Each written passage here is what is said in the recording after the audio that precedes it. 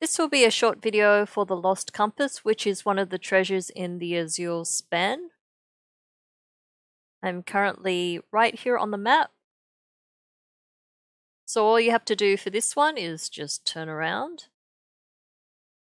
Avoid those goats over there. And just pick up the treasure. The easier ones to collect. Oh nice, another toy.